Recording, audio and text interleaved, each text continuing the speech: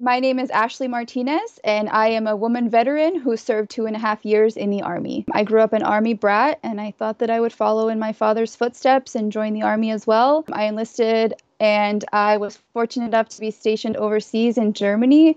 But unfortunately, uh, two months into my uh, duty assignment, I was raped by another soldier.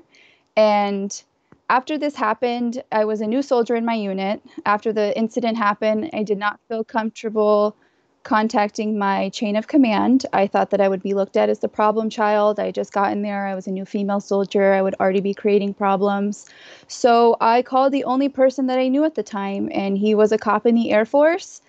And law enforcement are mandatory reporters. So from there, I was forced to make a report. And the first questions that I were asked were Were you drinking? How much were you drinking? And what were you wearing? So there was no concern for me and my safety at first. They already questioned me, they already discredited me.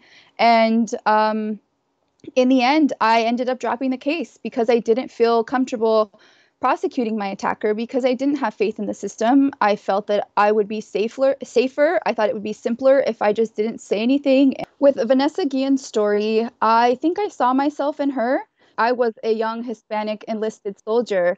I was also too scared to tell my mother my attacker's name. It takes a lot of strength to come out on the internet and post on the hashtag I am Vanessa Guillen because we do receive a lot of hate.